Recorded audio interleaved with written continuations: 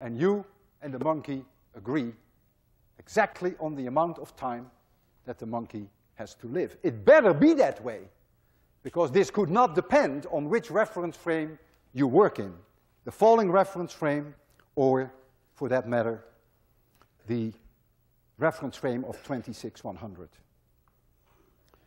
The monkey will be placed at a, about three meters above the table. We all know that it takes about 0.8 seconds. We have done many experiments at three meters.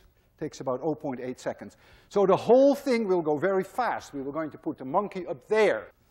I want you to first see the trajectory of that golf ball before we bring the monkey in. Meaning, it is already so painful for this monkey, you don't want him to pre-experience what's going to happen.